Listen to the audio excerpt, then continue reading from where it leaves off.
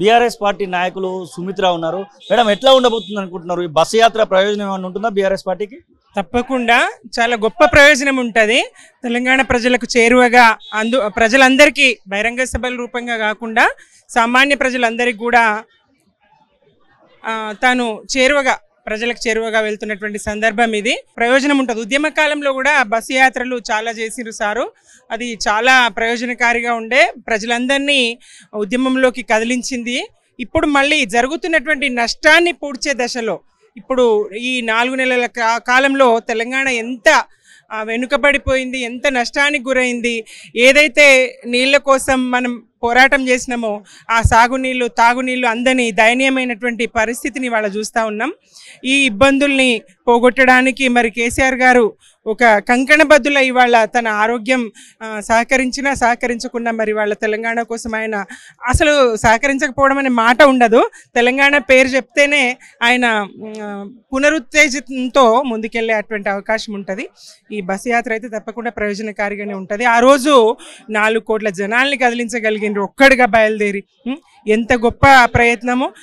నిజాం కాలంలో తీగల్ని తెంపి అగ్నిలో దించిండని దాశరథి పాడుకున్నటువంటి సందర్భం నుంచి ఆ తెగిన తీగల్ని తెగిన తీగలన్నీ తెగువతో బిగగట్టి అగ్నిలోని వీణ కాకృతిచ్చి ఉనికి లేని దాన్ని ఉన్నతంగా మలిచి కీర్తి పొందినావు కేసీఆర్ అని తెలంగాణ జనగణం పాడుకునే విధంగా మరి మూడు కోట్ల మంది నాడు కదిలించిన తీరు ఇవాళ జరుగుతున్నటువంటి నష్టాన్ని పూడ్చే తీరు.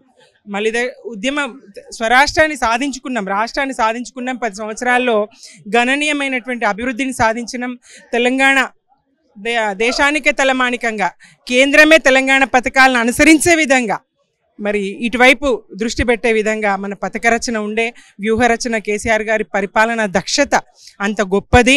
మరి అంత గొప్పగా ఉన్నటువంటి తెలంగాణని అలా ఓట్లు పెట్టుకోవడం తప్ప పసిపిల్లలు చిన్నపిల్లలు మేము స్కూల్లో చదువుకునే రోజుల్లో అమ్మ తోడు నీ పెన్ను నేను తీయలేదు. నా ఈ ఈ ఈ పుస్తకం నాదిగా నేను తీయలేను నీ పుస్తకం అని చెప్పేసి ఓట్లు పెట్టుకునేది. అట్లా ఉన్నది ఇప్పుడు పరిస్థితి ఒట్టేసుకునే పరిస్థితి.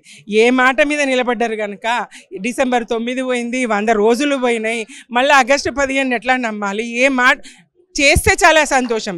తెలంగాణ ప్రజలకు జరగాల్సింది జరిగితే ఇంకా సంతోషం. మీరు ఏం చేయగలిగినా సంతోషం. చెయ్యండి అనే మేము అడిగేది. చెయ్యాలనే మేము అడిగేది. చెయ్యాలనే మేము కోరేది. చెయ్యాలనే మీ వెంటబడేది చెయ్యాలనే పోరాటం చేసేది. చెయ్యండి.